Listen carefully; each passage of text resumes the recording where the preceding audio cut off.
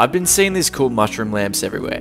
They're pretty cool, right? So I thought I had to get one. The only issue is, most sites were selling them for a preposterous $200. As you can see, I do love my lighting, but I'm not willing to spend $200 on a mushroom lamp, so I dug a little bit deeper. So instead, I ordered this pretty similar looking lamp for $40 off AliExpress. It took two weeks to come from China, and I didn't have any globes, so I looked up which ones I needed, went to Bunnings, and picked them up. Something tells me that these websites selling it for $200 are the exact same as the $40 one, but I don't know. I even spent the extra money on a smart switch so the light is fully integrated with the rest of my house.